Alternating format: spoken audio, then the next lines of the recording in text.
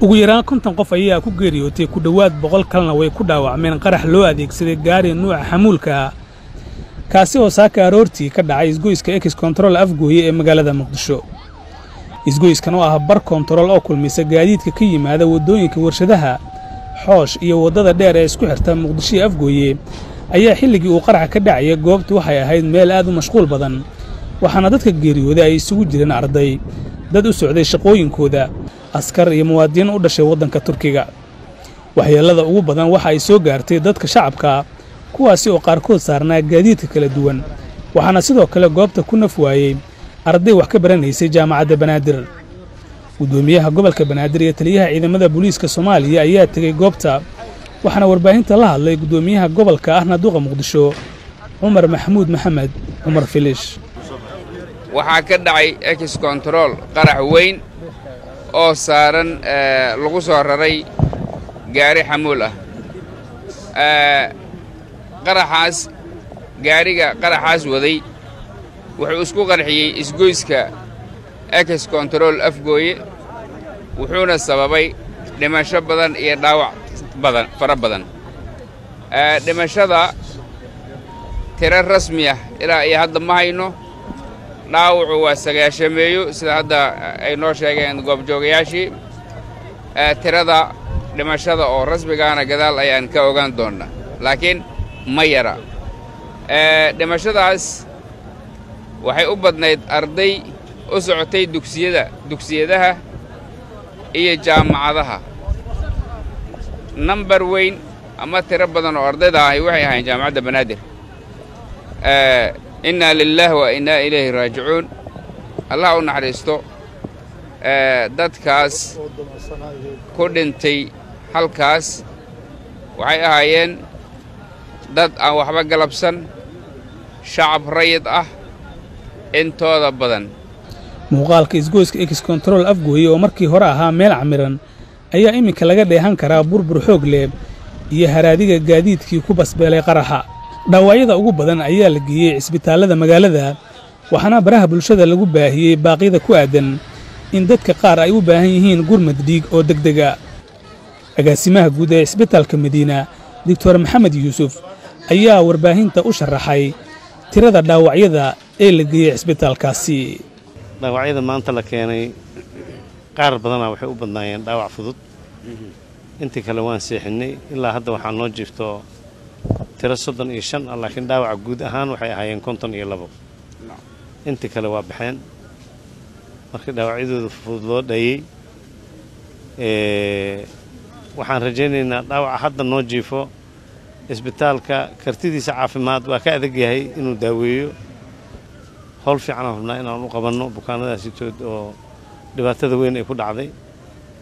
Oo haddana u badan arday jaamacad dhiganayso maaragtay badidooda jaamacadda banaadir arday ah oo darsi u socotay oo meesha dhibkaas ku qabsado qaraxaas qaarkoodna ay la'deen oo dhinteen. Marka ilaahay waxaan rajaynaynaa dhibabkaanito in ilaahay naga yareeyo. Cumar maxamuud maxamed guddoomiyaha gobolka banaadir oo ugu dambayn booqday dhaawacyada la geeyey cisbitaalka madiine ayaa warbaahinta u sheegay in bukaannada xaaladooda caafimaad wax loo qaban waayo gudaha dalka ay u raadin doonaan daryeel caafimaad oo dibadda ah waxaana halkaa ka ballanqaadaynaa maamulka gobolka banaadir iyo xukuumadda federaalka soomaaliya innagoo iskaashanayna inaan dhaawacyada dhakhaatiirtu ay ka dayriyaan inaanay halkaa waxba uga qaban karin inaan u qaadno yacni meelo halkan ka takhasusaad ama ka qalab badan oo dalka dibaddiisa ah.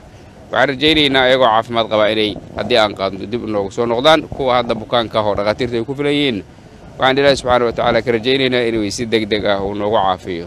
Si kastaba haatee qaraxan ayaa imaanaya iyadoo afartii bilood ee u dambaysay aanay muqdisho ka dhicin. Qaraxyada loo adeegsado gawaarida waxaana ammaanka magaalada uu ahaa mid soo hagaagayey cabdulaahi axmed nuur universal t v muqdisho. Cabdicaiise aad baad u mahadsan tahay sida aad ku sheegtay qaybihii hore ee barnaamijkeennaba qarax weyn ayaa saaka ka dhacay. Isgoyska ex control afgoye ee magaalada muqdisho oo ah bar control oo aad u mashquul badan oo wadadan ka timaada dhinaca namber afar gaadiidka ka yimaada waddada ka timaada dhinacan jidka warshadaha ee soo marta wasaaradda gaashaandhigga wadadan ka timaada dhinacan xoosh iyo waddadan ka timaada dhinacan afgooyaba gaadiidkii dadka ka yimaadaba meesha kulmaysa ay tahay. Marka xilli aroora oo dadku ay shaqo tegayeen qaarkoodna ay goobahooda waxbarasho u socdeen ayaa qaraxu meesha ka dhacay dad badan ayaa ku geeriyooda meeshaasi oo isugu jiray dad arday ah kuwo xoogsato ah kuwo shaqooyinkooda u socday. Marka waxay ahayd masiibo marka la eego sida ay maanta wax u dhaceen iyadoo qaraxan uu geystay saameyn xoog leh oo la arkayo muuqaalka meesha qofkii tagaa. Burbur xoog leh iyo uuro madow iyo gaadiid badan oo ku baaba'ay goobta marka waxaa jirta tiro badan oo dad shacab ah oo qaraxan ku geeriyooday iyo kuwo kaloo ku dhaawacmay. Welina waxaa la raadinayaa tira koobka guud ee dadka waxyeeladu ay gaartay. Laakiin tiradu ma yara cabdicasiis marka la eego siday wax u dhaceen iyo goobtu siday ahayd. Isgoyskaas waa taqaanaa waa meelaha ugu mashquulka badan isgoysyada ku yaalla gobolka banaadir. Waa meeshii xamar looga sii baxayey dadka soo gelayana ay soo gelayeen wadadaa xiriirisana. Waxaad ogtahay inay tahay muqdisho afgooye waddo iyana muddooyin ku dambeeyey deegaanada ku hareeraysan dadku ay aad u camireen oo aad u degeen. Waxaa dadkii dhaawacmay la geeyey isbitaalada qaarkood waa la aqoonsan la'yahay dadka geeriyooday. Kuwa dhaawacmay isbitaalada qaarkood dadkoodii ayaa baadi goobaya waxaa la dalbanayaa in dadka dhaawacyada isbitaalada ku jirto lala gaaro dhiig iyo gurmad si xaaladooda loola tacaalo. Marka warar ayaan oo ilaa hadda aan raadinayno hubintoodana waxay sheegayaan in arday saarnaa gaadiid kuwa b lka la yidhaahdo iyana meesha ay ku basbeeleen. Waxaa naloo sheegay in jaamacadda banaadir ardaydaasi iyo gaadiidkaba ay lahayd gaariga laakiin mas'uuliyiintooda aan la xiriirnay weli ma aanan helin in ay telefoonkeena ka jawaabaan si aan u helno xog ku aadan arrintaasi. Waase sii baari doonaa haddii arrintu ay tahay arrin saxa iyo haddii ay warkaas uusan weli san lahayn. Waxaa kaloo jira oo wararkana soo gaaray ka mid a in gaari ay saarnaayeen shaqaalo turki ah iyana lala beegsaday qaraxa oo ay meesha waxyeelo ka soo gaartay. In wararka hore soo baxaya ayay ka mid yihiin goobta masiibadu ay ka dhacday suxufiyiinta way tageen meesha qaarkood hadda waa la kala eriyey oo waa loo diiday. Mas'uuliyiinta dowladda ayaa iyana halkaas jooga. Guud ahaan meeshu ma qurux badna saakay. Tiam ka mid a universal oo meesha tegay waxay noo soo sheegeen in carunka dhiigga meesha yaalla. Dad qof dadka qaar aanay suuragal u ahayn inay inay inay meesha sii joogaan. Marka xaaladda guud cabdicasiis saakay iyo ex control afgooye waa sidaas wixii kolba nagu soo kordhaa dib ayaan u soo sheegi doonaa qaraxaasi waxaa ku jira injineero turkiya oo saarnaa gaari nooca aan xabadda karin oo qaraxa halkaasi uu ku haleelay. Qof ka mid ahaa dadka goobjoog uu ahaa markii qaraxaasi uu dhacayay ayaa warbaahinta waxa uu sharxaad uu ka siiyey waxyaabihii ay indhihiisu ay qabteen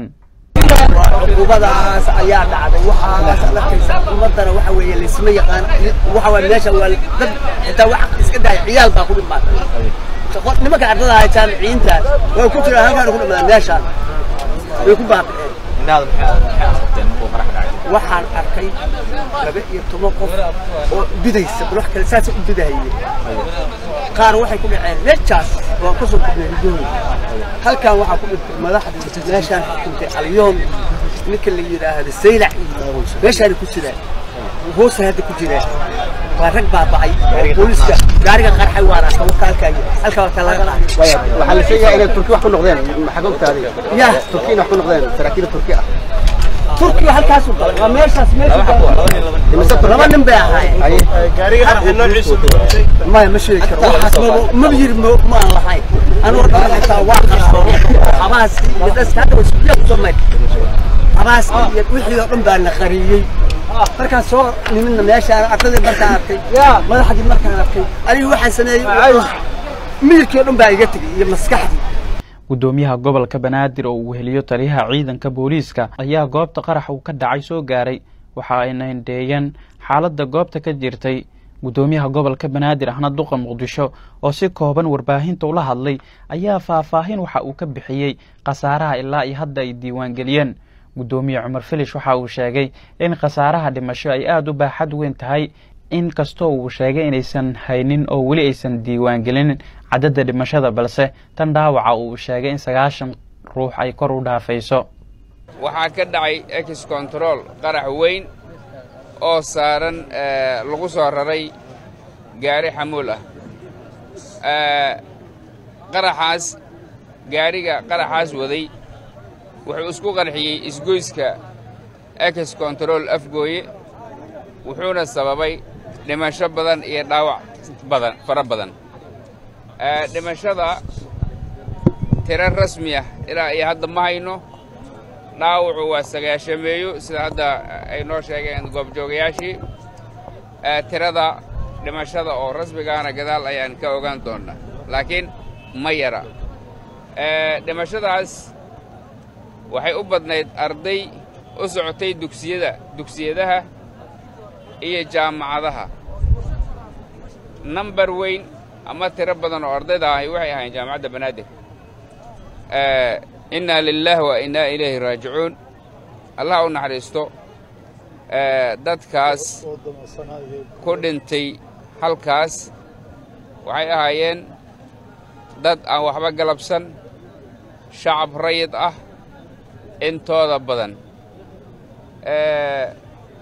Waxaa laayay dadkaas dhagariqabayaasha ku soo duulay dalkeenna soomaaliya.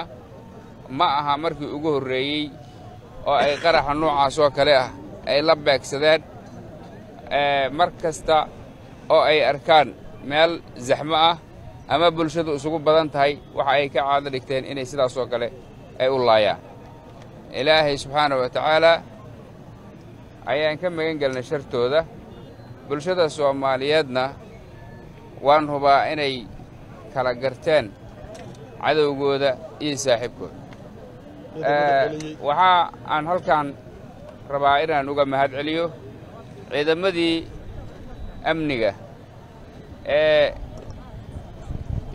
shafka u dhigay ka badbaadiyey dhagarqabayaashu hagardaamada ay soo abaabuleen inay u gudubto magaalada.